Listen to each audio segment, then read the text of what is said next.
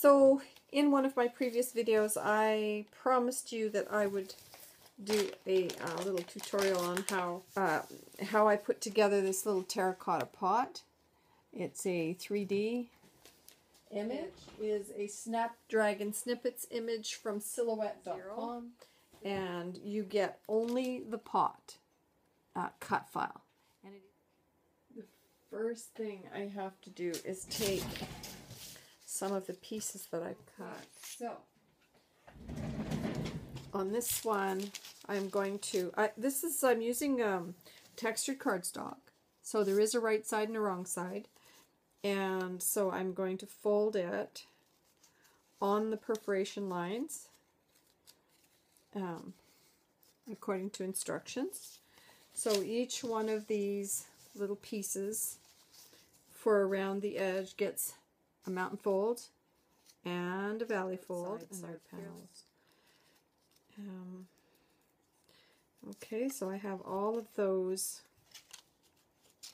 folded.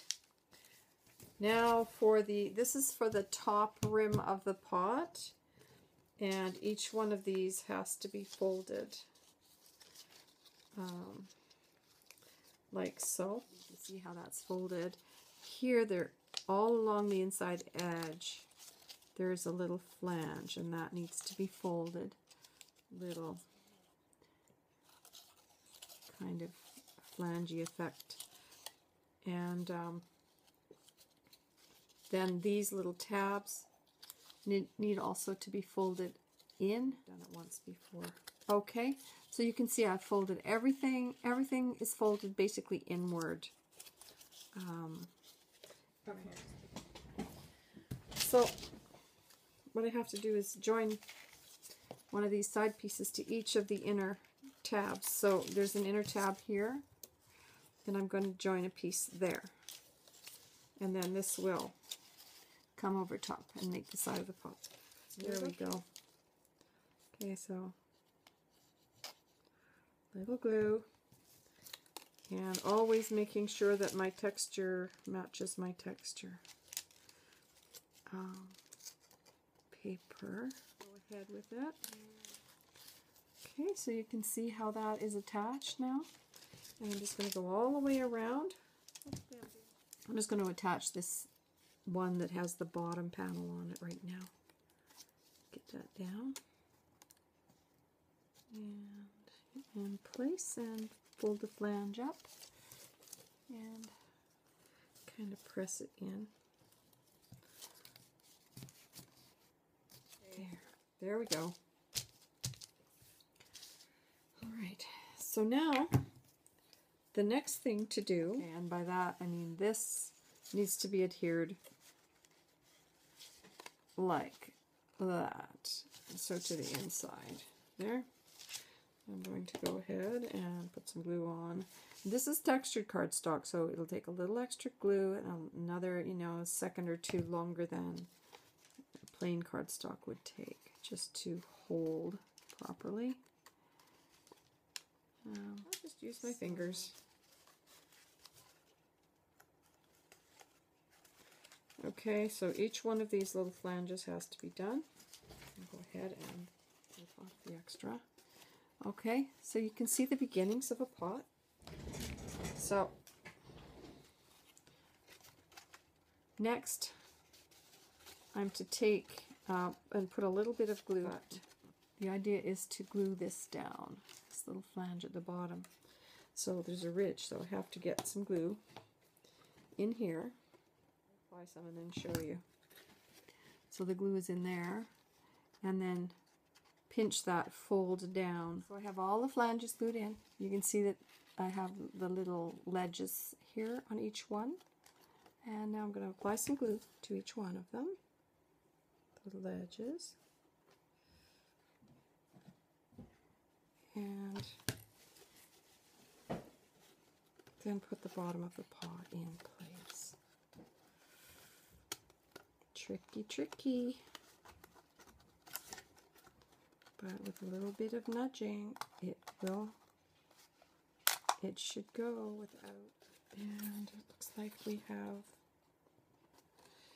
now got a bottom in the pot. You can see it's all glued down. So my next step is to um, put these little tabs in the holes.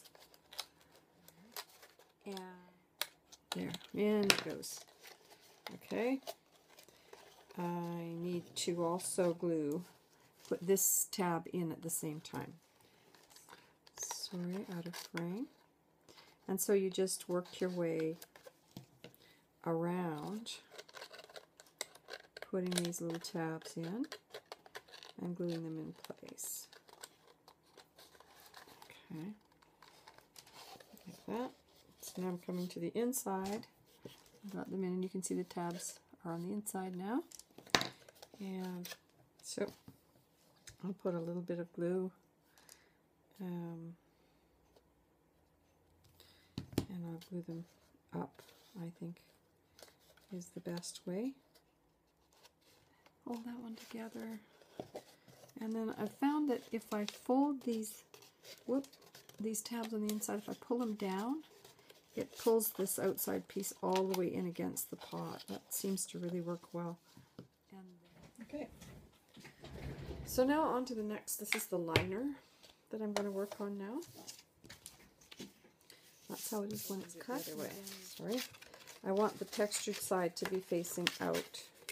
So I'm putting it on the inside um, so that when it's inside the pot, this is the textured side, and this one, other side will adhere. So I'm just going to um, fold all of the tabs up and and then glue these two pieces together. I don't think it really matters which way.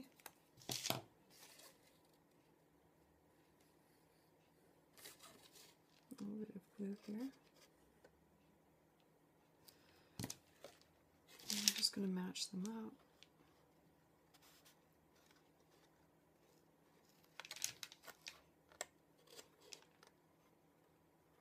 And hold them.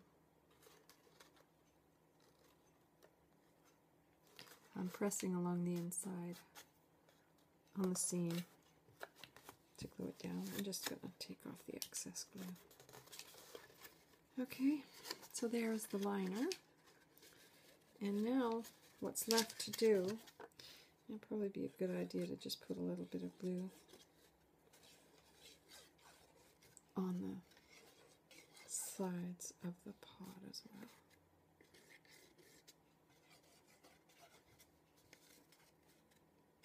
Doesn't need much. So I'm going to tuck that down inside and just center it up properly and push it down. Okay, so we've got the bottom of the pot that's going to go in. And I'm just going to drop it in and then um, coax it into place with this pointy tool. So, there we go. So I got the bottom of the pot done, inside, outside, it's all lined up. On the bottom, I bunched a circle that will fit, and I'm just going to, um, I want it this way, so I'm going to apply some adhesive just, just around the outside of the circle. I'm going to leave the dot in the middle, that's what I'm trying to say, the hole in the middle. Um, and pop that in there. And there you go. So I'm actually blocking the hole because I'm going to put some hot glue and some um, some foil foam, but you can still see the hole. It's just blocked in the bottom. Back again. Here's okay, the little so pot I created using that uh, terracotta pot uh, cut file from the silhouette.com website. And this is the uh, example of the terracotta, terracotta pot, not pot, uh,